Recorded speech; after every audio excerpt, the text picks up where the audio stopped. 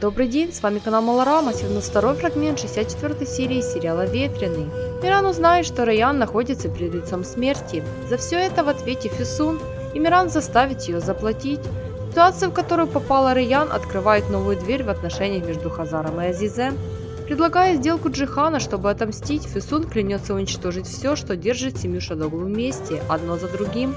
Стремясь к спасению Раян, Миран будет потрясен пожаром в фонде Умут. Для контроля беременности Раян приедет новый врач, в которого влюбится Азра. Обяжет ли Раян, которая находится в центре Великого Хаоса, отказаться от Умута, которого она хочет родить за счет своей жизни? И да, это Фисун устроит пожар в помещении фонда Умут.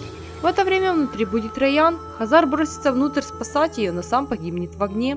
Так что, к сожалению, нас ждет печальная концовка 64 серии сериала «Ветреный». Мы искренне надеялись, что этого персонажа оставят живых, но, увы.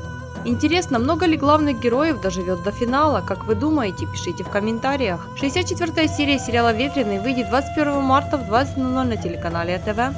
На этом на все, подписывайтесь на канал. До скорых встреч!